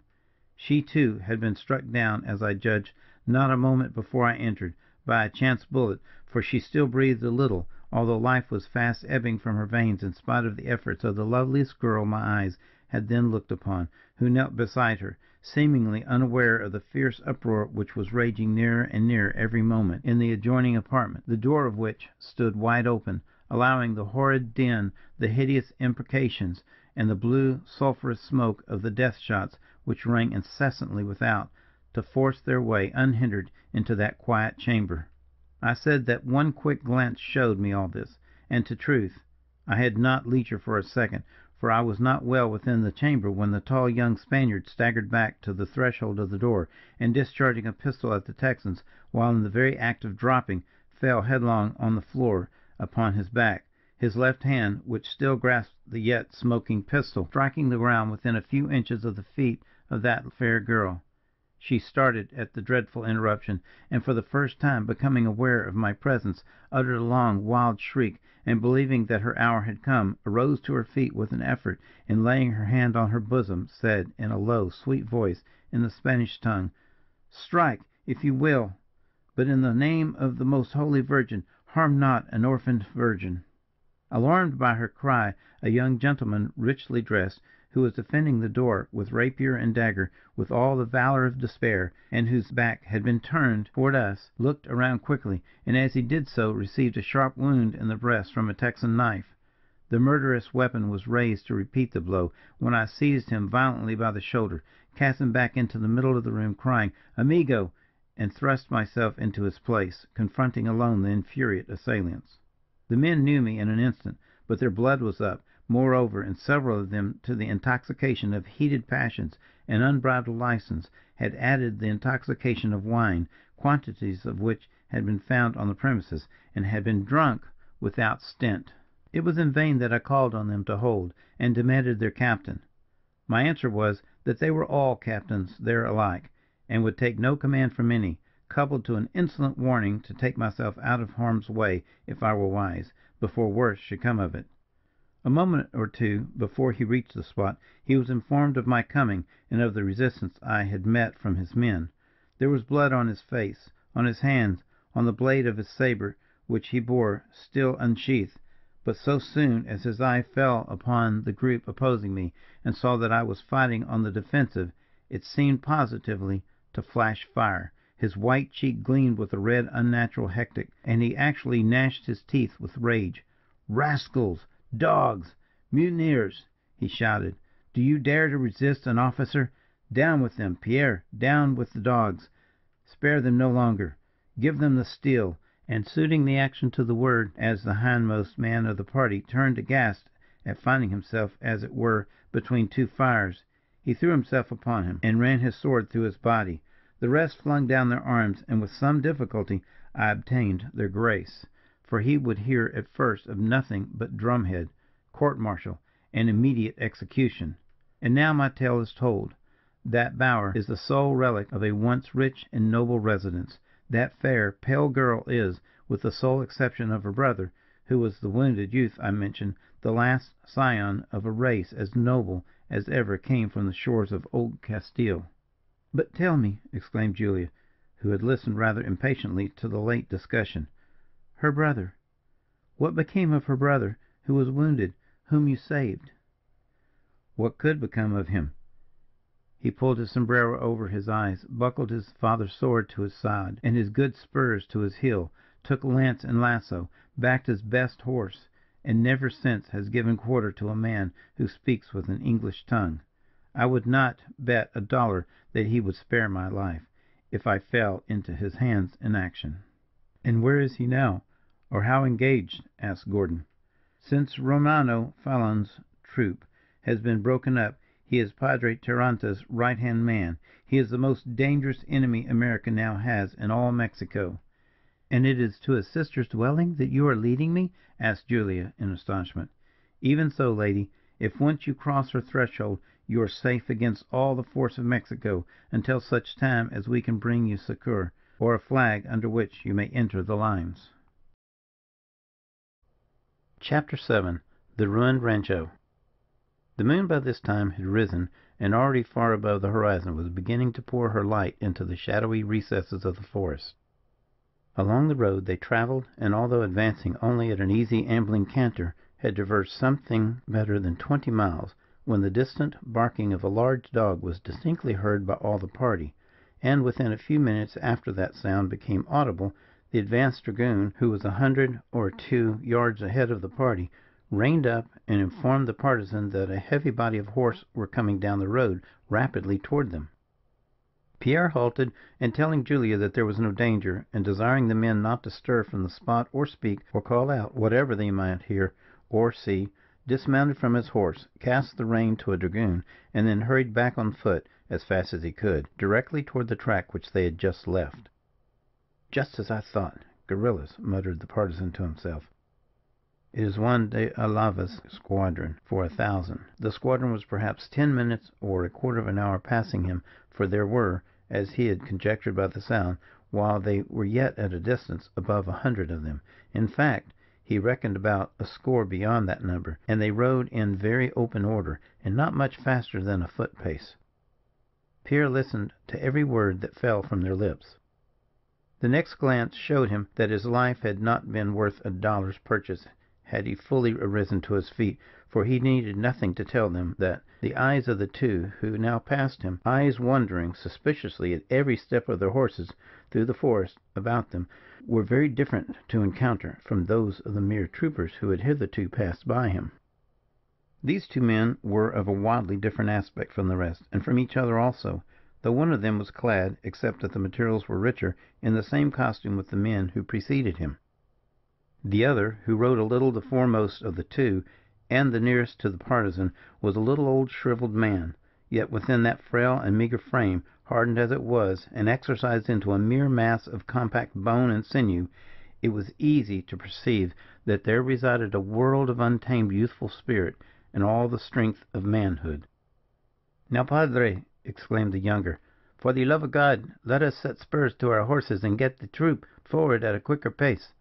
At this rate we shall not reach the open ground before daybreak, and in that case they will have the start of us."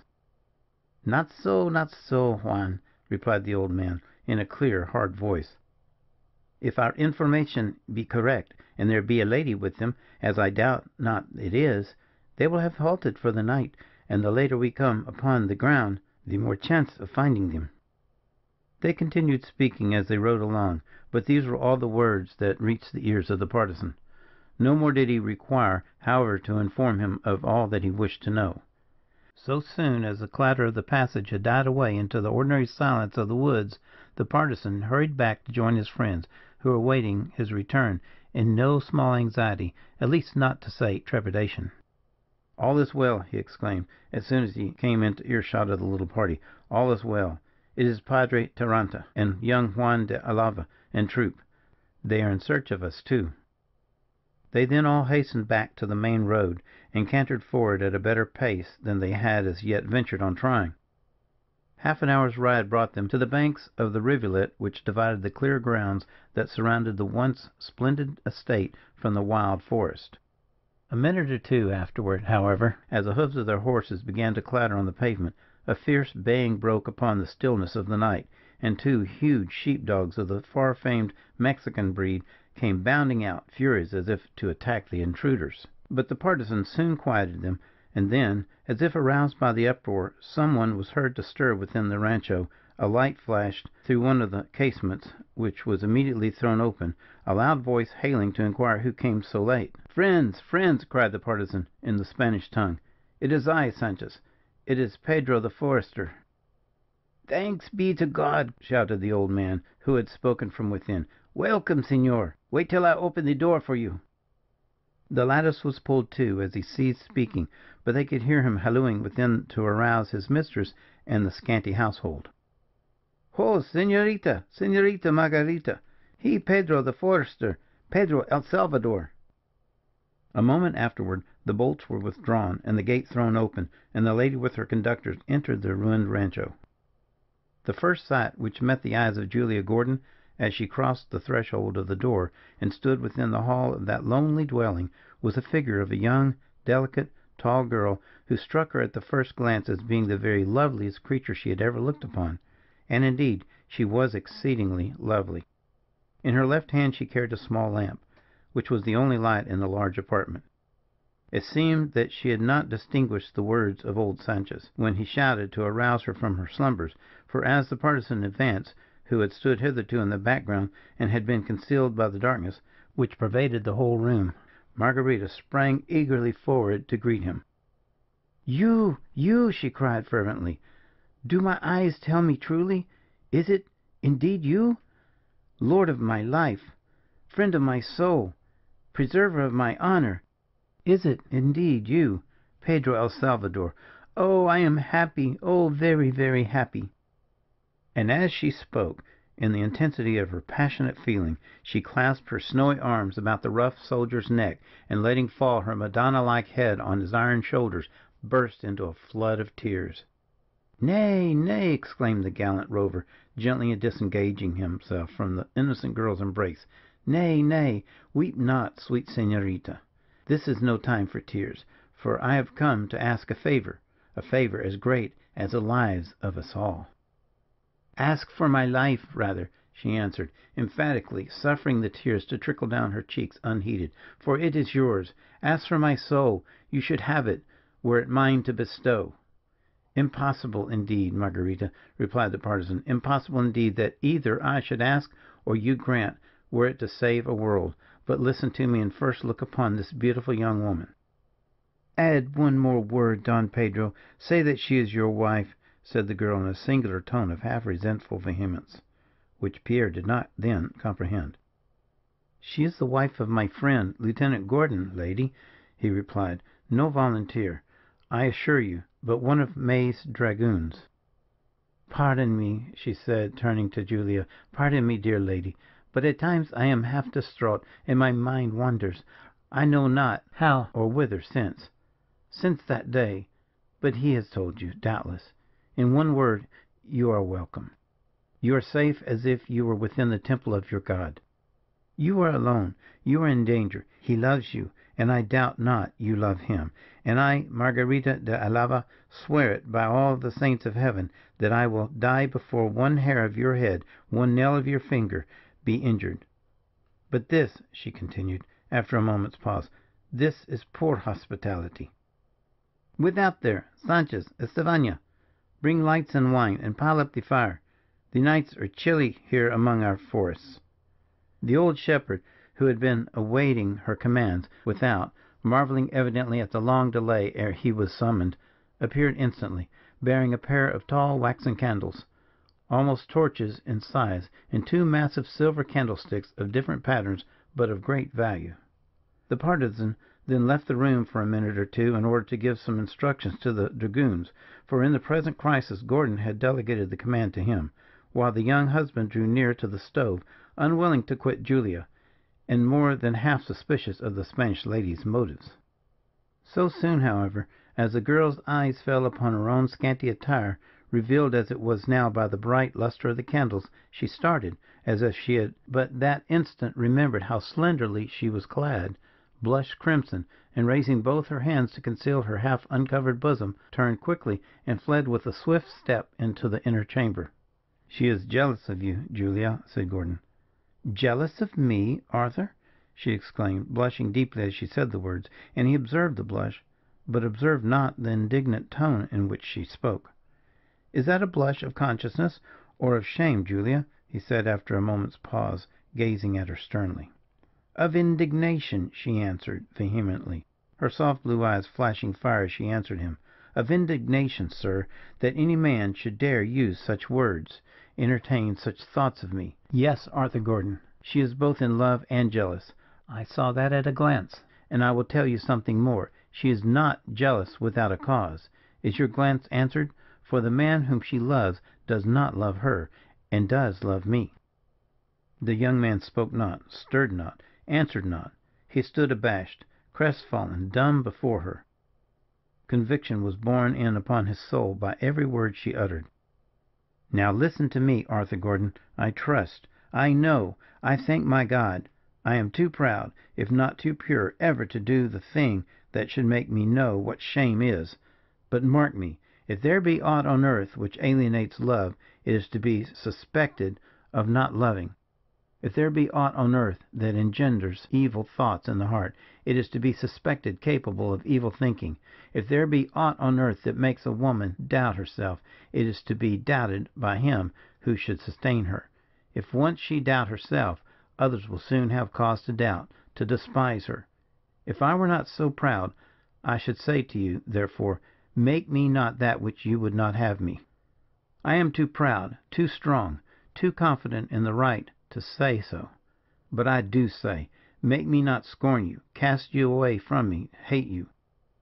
I could do all these things, Arthur Gordon, and though they kill me, I will do them if ever more I hear from your tongue or see in your eye a doubt of my honor, of my love. I have said enough, should have said too much, had I not seen you in aforetime the germs of this folly, which, if not nipped in the bud, will make you, will make both of us indeed wretched. Now I will go and join our hostess, and do you seek the Partisan and decide upon our future movements." He raised his eyes slowly to meet her glance, and as he met it no longer fiery or indignant, but full of confidence and love, a faint smile played over his lips, and he stretched out his arms half timidly toward her, with this one word, "Julia." And she refused not the proffered embrace, but fell on his bosom and kissed him tenderly, and then withdrawing herself gently from his arms, said, with her own bright, beaming smile: "Now go, go your way, silly boy, and beware of how you let that noble man perceive your folly." "He shall not, for my life," answered the young dragoon, as with a light heart, a firm step, and a mind perfectly reassured and easy he went forth by one door into the courtyard, as she passed by the other into Marguerita's boudoir.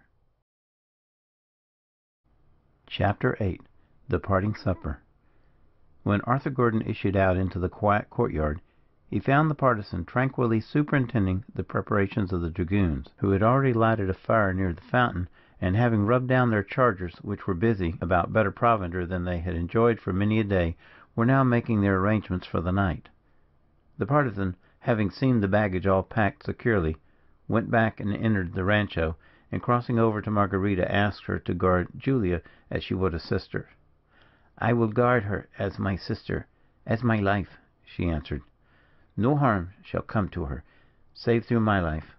You shall find her safe when you return, or you shall find us together." "I know it," he said, gloomily. "I know it, Marguerita. Yet I think we shall never meet again," he added, in a whisper. "We shall, we shall meet again!" she exclaimed, almost triumphantly. "If not on earth, there, there, where there are no wars and no enemies where we shall part no more for ever." "Amen," replied Pierre. Two hours later, and the horse tramps of the dragoons had died away in the distance, and Julia had wept herself into forgetfulness of her sorrows on the bosom of Marguerita. The morning which followed the departure of Pierre Delacroix and his companions from the ruined rancho dawned as serene and gentle as the waking of a new born child. The song of birds and the distant waterfall held Julia as she awoke from her slumbers, and the soft, melancholy singing of Marguerita suddenly reminded her where she was. A moment afterwards the song ceased, the door flew open, and Marguerita entered, leaving several choice and dainty edibles, and addressed her guest. "You must pardon me, lady, if I perform these little offices myself, and intrude my services upon you, for the fortunes of war have imposed the task of such light labours on me. happier than many of my sisters, who are reduced to utter penury and ruin. Pardon me rather, dear Marguerita, for so you must let me call you, that I permit you just to wait on one who is so far in every way beneath you. Except," she added, with a winning smile, "that in all times and countries the character of a suppliant has been invested with a sort of mournful dignity." "Is it so, lady? Is it so indeed?" cried Marguerita, half eagerly, half sorrowfully. "Julia, Julia!" she cried imploringly, "will you call me Julia? I called you Marguerita. Dear, dear Marguerita." "Julia, dear Julia, then," replied the Spanish girl, soothingly. "Believe me, I thought not to wound you, but my heart bleeds, my heart burns when I think of my country and her wrongs. Hark!" she exclaimed, in a low whisper. "Heard you that?" "Heard I what?" cried Julia, terrified beyond expression at the sudden change in her tone manner, and countenance. "I hear nothing but the wind, the birds, the water." "There, there again!" said the other, standing erect and motionless, with her finger upraised, her head thrown a little backward, her lips apart, her nostrils dilated, her eyes fixed on vacancy. "There, there it is again! They are coming!" An instant afterwards the jingling of spurs and the clang of a steel scabbard on the stone pavement of the outer room was heard approaching the door quickly. Then Marguerita's face lightened for a moment as she sprang to meet the newcomer. "It is Juan!" she cried. "It is my brother, and thanks be to God alone!" The door flew open, and on the threshold stood the young guerrilla. It was in the form of the Antinous without his effeminacy. It was the head of the conquering Bacchus without the sensuality. A specimen more perfect of young manhood never walked the earth. "Madre de Dios! who is this?" he asked. "Brother, Juan, brother!" exclaimed Marguerita, seizing him in her arms, and striving to embrace him. "What have you done, mad girl? Who is this, I say? Who is this, Marguerita?" "A suppliant, a fugitive, a friend, a sister, a sister of the partisan of Pedro, my brother, Pedro el Salvador." "An American!" he said slowly, his brow gradually uniting into a black frown as he uttered the word, and his eyes growing lurid with a concentrated fire. Then, laying his hand on the hilt of his stiletto, he murmured through his teeth, "She must die." "Never! No! For your life, for your soul, for the name of God, for the most holy Virgin, no, brother, no, not while I live. He brought her here. He that preserved your life and my honor. He asked me to protect her, and I swore by my mother's soul, and now I swear it. Fool!" he almost shouted in his rage, as he thrust her aside violently. "Carrera will be here within ten minutes, and all our lives are forfeit by your treason. We can conceal her in the niche, you know, in the niche. Sanchez and Estefania and Francisco need but a hint to make them mute as statues. We can conceal her, brother, and be saved. He knows that they came hither. We have traced their hoof prints to the very gate. A wounded soldier saw them leave their hiding place, and we met Carrera on the track. I know not how we failed to meet them." "Where is Estefania?" "In arrest." "And Francisco?" "And he likewise." "Then we are saved." "How saved?" "Go, tell them, you, to swear that the dragoons forced our hospitality by menace, which we could not resist. They were five strong, young men, well armed. What could we do?" "It may save us. Who knows?" "It will save us. Do it. Away. Every moment is a life." Then, as he left the room in haste, she sprang up on the bed, touched a spring in the wall, and the back of the shallow niche in which the crucifix stood flew open, turning outward on a hinge, disclosing a small circular closet, lighted by a small air hole, and containing a low stone bench wrought in the wall. "Up, up!" she exclaimed, shaking Julia sharply by the arm. And aroused from her position by the dreadful emergency, and nerved by the firmness of the Spanish maiden, Julia did rise, pale as a ghost, but calm and firm, and kissed and blessed her hostess, and mounted into the small hiding place, and drew the secret door close after her. Nearer and nearer came the bugle horn, and then the clang of hoofs, the orders of the officers, the din of the men dismounting, and the clash and clatter of their arms. Hurriedly, in the meantime, had Marguerita thrust aside the few articles of Julia's clothing which were scattered about the room; but when she thought that all was safe, and the steps of the officers were heard in the outer hallway, she sat down quietly to her embroidery, and took up again her mournful song, and was singing tranquilly and unconcernedly when her brother again entered the apartment. CHAPTER IX. Spanish Honor. "Marguerita, come forth.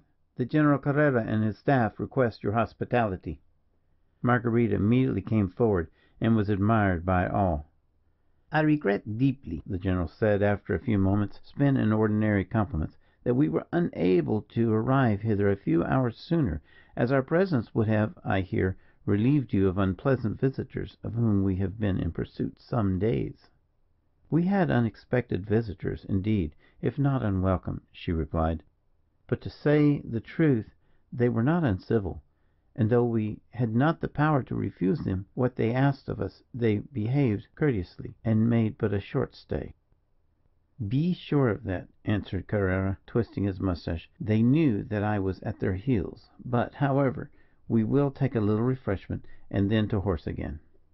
After they had partaken of refreshment, he arose from his chair, and again bowing, was on the point of leaving the apartment and the poor girl thought that the crisis was past and the danger over, when in the very midst of the bustle and hurry of leave taking, an aide de camp rushed in hastily and announced that the riding horse of the American lady had been found in the stable of the rancho, well groomed, and feeding at a well filled manger.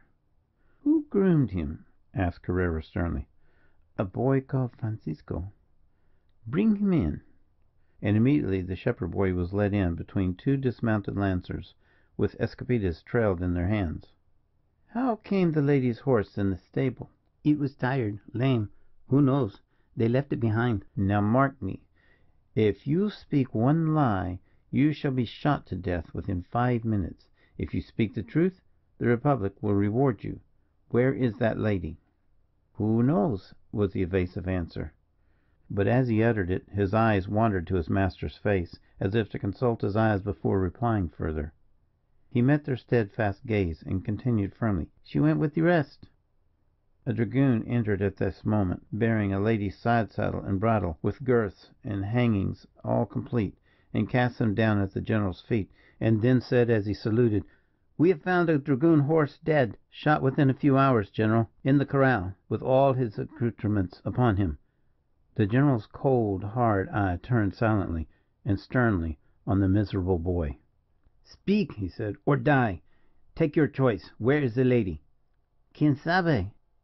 "Away with him!" Two stout dragoons seized him, and, despite his cries, his struggles, and his entreaties, dragged him away as if he had been a mere infant. There were five minutes' dreadful, death like silence. Marguerita stood cold and impassive as a pillar of stone with her teeth set and her hands clenched. But for the heaving of her bosom and the quivering of her eyelid, she gave no signs of life. Juan de Alava preserved his soldier's mien and aspect, but his eye wandered wildly. The next moment the sharp rattle of a volley, succeeded by one death groan, rang through the hall, and the thin blue smoke drifted in through the open door and half filled the apartment. Fiel hasta la muerte muttered he between his hard set teeth. "Bring out the other servants," roared the general, furious at being frustrated. "Give them five minutes, also to confess. If they speak not, shoot them." After another short pause, an orderly entered, and announced that they had fled into the woods. "Ha! this lies deeper than I thought for. Lady," he added, turning to Marguerita, "we must have your presence in an inner chamber. Valdez, call in our major and six captains, a court martial. Senor de Alava, follow us." And without more words, he stalked into Marguerita's private chamber, seated himself in her own armchair, and ordering his officers to form a half circle round him, proceeded to arraign her as a culprit. "You know," he said, sternly, but not uncourteously, "you know, Senorita, the doom which our laws have pronounced against all traitors who comfort, protect, or harbour an American?" "Senor, I know it." "It is death. You are very young to die. I am young, senor, but when God calls us hence, it is never early. A slight murmur of admiration ran through the circle at her calm and dauntless resolution, but found no echo from the cold lips of the general. "Where is the lady gone who was here last night?" "The boy whom you murdered told you that she went with the rest." "He lied, and lost his life by his lie." "On your honour, do you know where the lady is at this moment?" "I do know." "Where is she?" "I have sworn to be silent." "That oath was treason to your country." "By your proclamation." "You know it? You have read it?" "I do I have." "Enough. One question more. Will you reveal it?" "I will not." "And you know the alternative?" "Death." "And you are prepared to die so young, so beautiful to die a traitress?" "God will forgive me." "Colonel Don Juan de Alava, on your honour, as a soldier and a gentleman, do you know where this American woman now is?" "I do know." "Where is she?" "Do you think me less firm than a woman?" "Have you sworn secrecy?" "I have not sworn." "Speak, I command you." He was silent. The general cast his eyes sternly round the circle, reading the judgment of each man by his face, as he asked: "Are they guilty of high treason?" And each man nodded in silence as the question came to him in turn. "And your sentence?" "Death," replied Valdez, standing up and uncovering, and all the others arose in their order, and bowed in assent. "Never!" exclaimed two voices in one cry, and as if by one movement, brother and sister drew and raised on high a sheathless blade. "Brother, sister, adieu!" and the blades rose as if to strike. But ere the blow was dealt, a calm, sweet voice cried: "Hold! I am here." And at the words, there in the niche, disclosed by the removal of that holiest emblem, the Christian's dying God, there with her golden tresses floating dishevelled like a halo of glory around her, with her blue eyes filled with the ineffable lustre, the lustre of a martyred saint, her innocent, artless features glowing with strange exaltation, her lovely lips apart, Madonna like, stood Julia Gordon.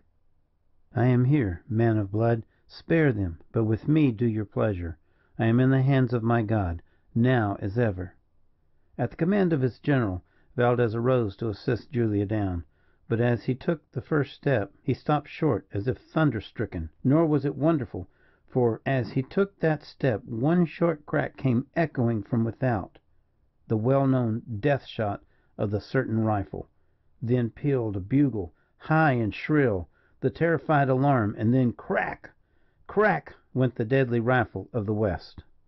And high above all other sounds, and high arose the cry of the Texans: "Remember the Alamo! The Alamo!" And Gordon's name was mingled with the din, and the fierce cheer of the partisan. Pierre! Pierre! Charge for Pierre, and glory completed the dismay of the surprised and baffled murderers. As the first din of that surprise fell on the startled ears of the Mexican commander, he sprang to his feet, unsheathed his sword, and the other officers following his example, they dashed forward gallantly to find their men and lead them to the charge all save one Valdez. "And why does the gallant Colonel Valdez loiter in the rear, when his men are in action?" asked Juan de Alava, sneeringly. "I might retort the question, sirrah, were it becoming to me to reply to a prisoner and a traitor." "And did you so retort, sirrah," answered Alava, quietly, "I might reply that a prisoner has no right to be in action, did it become me to reply to a liar. Now, mark me, before these ladies, whom you have insulted, would have outraged, I strike you thus, I spurn you with my foot thus, and thus." And as he spoke, he suited the action to the word, giving him a severe blow with the flat of his sword across the shoulders, and actually kicking him twice with his foot. Both men were in the prime of life, young, active, sinewy, and skilful to a wonder in the use of their weapons. Juan was as brave as his own steel, and Valdez, a base coward, was forced to fight for his life. "Kill him! kill him!" cried Marguerita. "For my sake, kill him! By no hand but yours must the villain die." They both fought desperately and determinedly, one fighting for life, and the other for vengeance.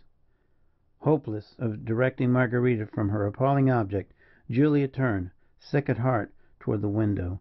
the same window which had given entrance to the Partisan when he arrived but in time to save Marguerita; and, at the very moment she did so, it was driven inward with a loud crash, and she was clasped in the arms of Arthur Gordon.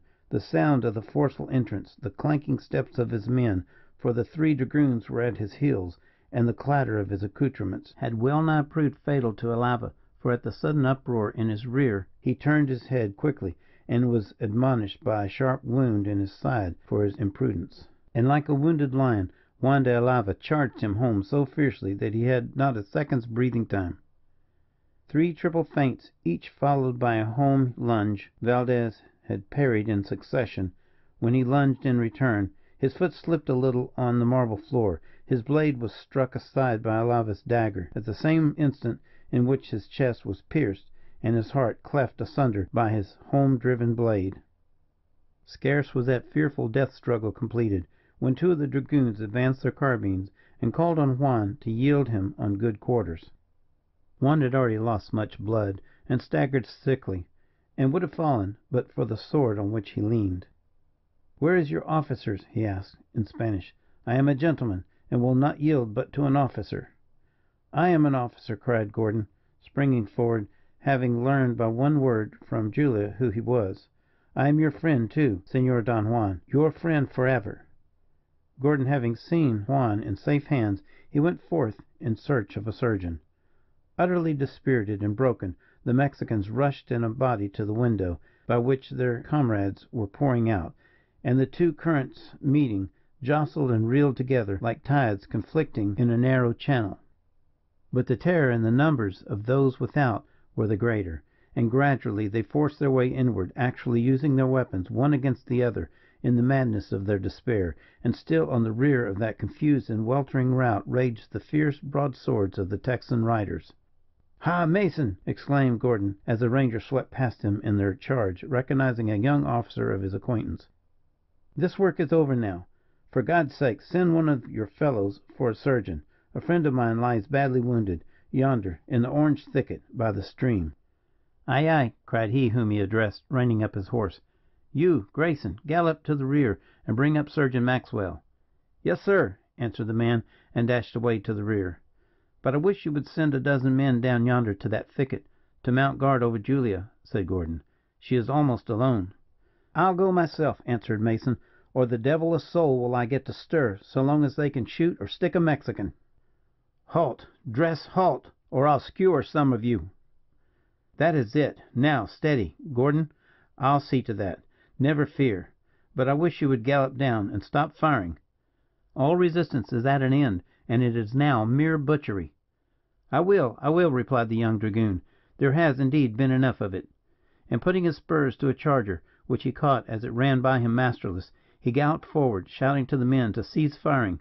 But eager as he was to check the carnage, he was preceded in the work of charity by the bold Partisan, whom he could see mounted among the crowd of dismounted rangers, close to the often mentioned window, actually cutting at his own men with his broadsword to enforce obedience, and shouting till he was hoarse, in Spanish and English alternately, "Cease firing, and give quarter."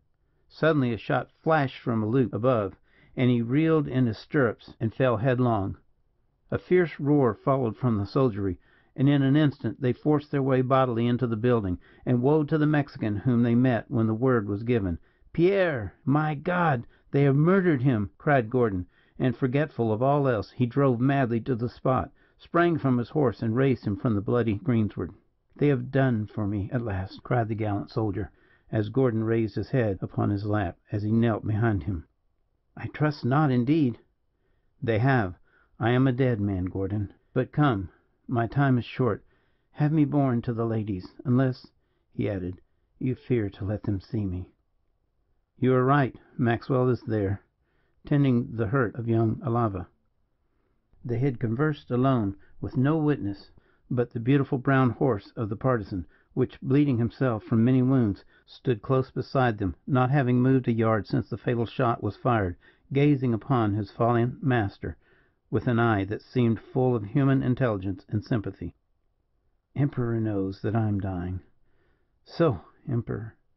Good horse. So. Emperor," he added, raising his head a little to gaze on his favourite. and the beautiful brown horse whinnied as he heard the long loved voice, and advanced a yard or two, and rubbed his muzzle gently and fondly over the face of his dying master. "Good horse, good Emperor," said the Partisan, patting the face of his horse with his failing hand. "I never shall back you again, good Emperor. He is yours, Gordon, when I am gone. You will be kind to him, I know." The young dragoon wrung the hand of the dying man hard, and the big tears burst in volumes from his eyes, and fell down like rain upon the face of the veteran. "Go forward," he said, faintly. "Go forward, Gordon, and apprise the ladies. Women are tender plants, and this, I think, will shock them."